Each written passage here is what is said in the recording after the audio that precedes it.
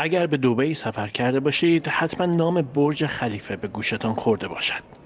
نام قبلی این برج دوبی بود اما در سال 2010 پس از اینکه ابوظبی 10 میلیارد دلار به دوبی برای پرداخت بدهی هایش کمک کرد بلندترین سازه امارات یعنی برج دوبی به افتخار امیر وقت ابوظبی و رئیس کشور به برج خلیفه تغییر نام داد. کمکی که دوبی را که به دنبال بحران اقتصاد جهانی در سال 2008 در آستانه ورشکستگی کامل قرار گرفته بود نجات داد. خلیفه بن زاید بن سلطان آل نهیان روز جمعه درگذشت و به همین مناسبت در امارات چهل روز عزای عمومی اعلام شد. هنوز جزئیاتی درباره مرگش منتشر نشده هرچند از حدود یک دهه پیش که دچار سکته مغزی شده بود کمتر در انظار عمومی دیده می‌شد. جسد او که دومین رئیس کشور امارات از زمان استقلالش محسوب می‌شد روز شنبه پس از اقامه نماز توسط مقامات و اعضای خانواده با پرچم امارات در قبرستان البتین به خاک سپرده شد. در همین روز محمد بن زاید بن سلطان آل نهیان برادر کوچکتر شیخ خلیفه پس از نشست شورای عالی اتحاد رسما به عنوان رئیس جدید این کشور انتخاب شد.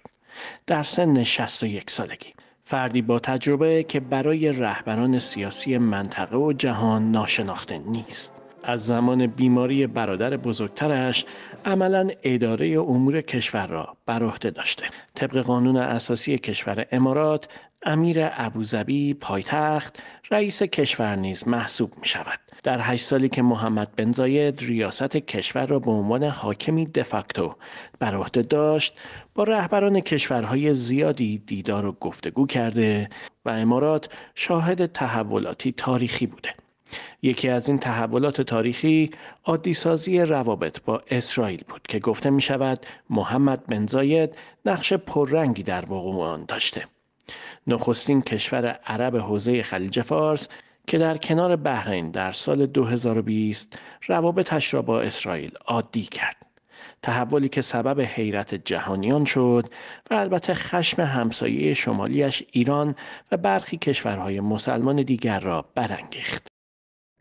اقدامی نادرست غلط و صد درصد محکوم و خیانتی هست به آرمان ملت فلسطین و به آرمان مسلمان ها از دیگر اقدامات محمد بن زاید پررنگتر کردن نقش کشورش در معادلات منطقه است. از جمله مداخله در یمن، لیبی و تا حدودی هم در سوریه. امارات در کنار عربستان و با تشکیل یک ائتلاف نظامی به همراه چند کشور دیگر عربی از سال 2015 در یمن علیه حوسی های تحت حمایت ایران از منصور هادی حمایت کردند. اقدامی که باعث شد جنگ به امارات هم کشیده شود. حوسی ها دو بار با موشک و پهباد به امارات متحده حمله کردند. ابوظبی گرچه با عربستان روابط نزدیکی دارد اما در عین حال بر سر جذب حجم بیشتری از سرمایه گذاری های خارجی و درآمدهای غیر نفتی با ریاض رقابت می کند. اما مدتی است که روابط امارات با متحد دیرینش ایالات متحده آمریکا تا حدی رو به تیرگی رفته. به نظر می رسد محمد بن زاید از برخی مواضع آمریکا از جمله جابجایی بخش بزرگی از نیروهایش به آسیا خوشنود نیست. اختلافی که حتی به موضوع خرید و تحویل جنگنده های فوق پیشرفته و گران قیمت F-35 هم کشیده شد. برخی ناظران سیاسی معتقدند این دلخوری در موضع بیطرفانه ابوظبی در قبال حمله روسیه به اوکراین نمود پیدا کرده.